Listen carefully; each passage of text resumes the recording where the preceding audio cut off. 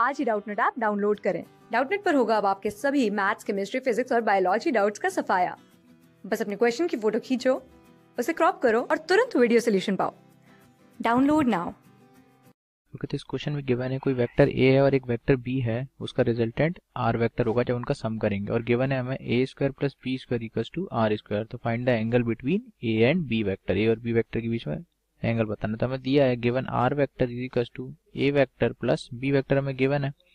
तो इसको अगर मैग्नीट्यूड निकालूँगा तो क्या लिखूँगा? आर वेक्टर का mod is equals to under root of A के मॉड का होल स्क्वायर प्लस बी के मॉड का whole square plus two A B cos theta यही लिखोगे आप।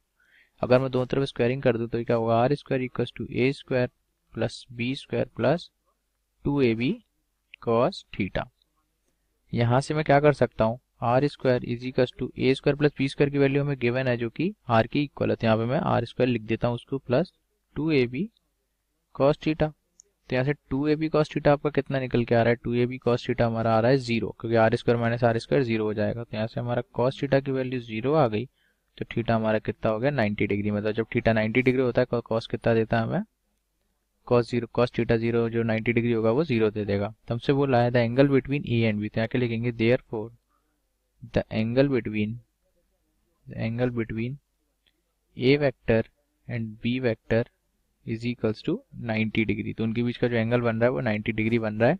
इस क्वेश्चन में जो हमसे पूछा गया था, हमने निकाल दिया, ये हमारा आंसर है और ये हमसे पूछा गया था। क्लास सिक्स से ट्वेल्थ से लेके NEET I I T JEE mains और एडवांस के लेवल तक।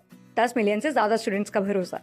आज ही डाउनलोड करें डाउटनेट ऐप या व्हाट्सएप कीजिए अपने डाउट्स आठ चार सौ चार सौ चार सौ पर।